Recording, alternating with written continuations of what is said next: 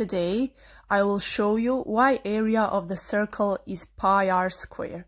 We need scissors, ruler, marker, pencil, and one circle.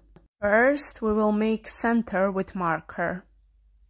Then, fold it in exact half to form a semicircle, then one more to make a quarter, and then one more Fold across the radius to make 8 equal parts of the circle.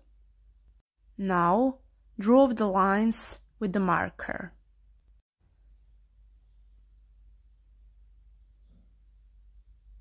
And cut the lines to get 8 triangular figures.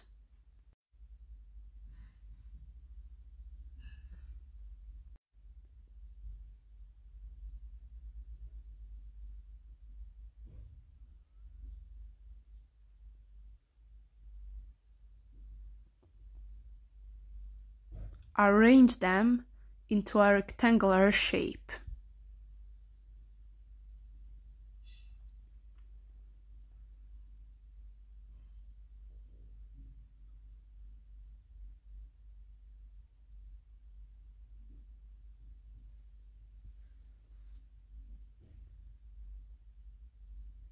You can observe that this rectangle curved surface as this length. Now, what should be done? Divide the circle into 16 equal parts, arranged to form a rectangle. You can make more parts of the circle to get a rectangular figure.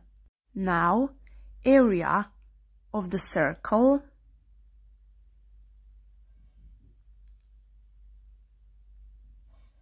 is equal to area of the rectangle.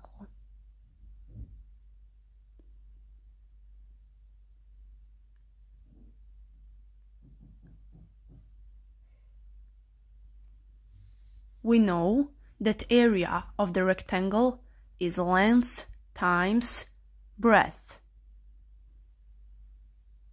The length of this rectangle is made of half circumference of this circle. The circumference is given by the formula 2 pi r